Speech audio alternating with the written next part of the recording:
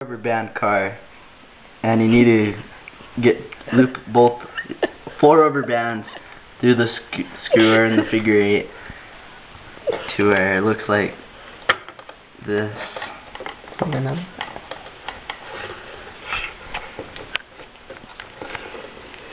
So now you have both parts of your figure eight looped and ready to be winded up.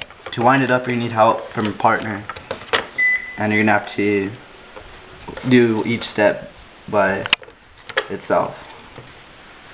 So first we'll do the front wheels. You pull it back.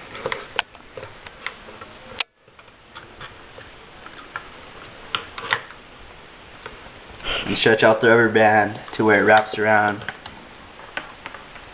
really tight and then you start winding it individually.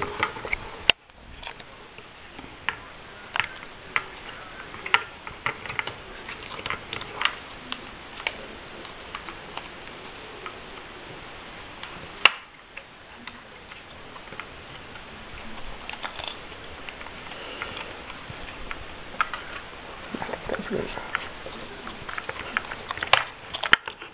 Alright, you don't want it too tight so the rubber band don't bust.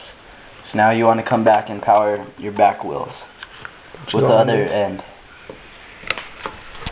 And come over again and start winding forward.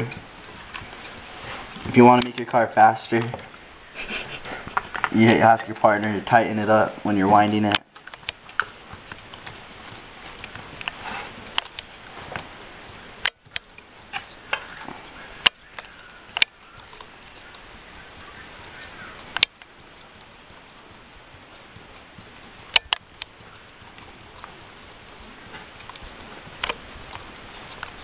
You can also set it on the ground and just wind it up like that if you want.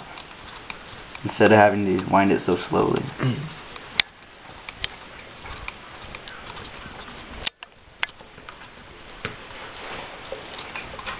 Okay. Once you think you have it wind it up good enough, you can just let both wheels go. And this is how it spins.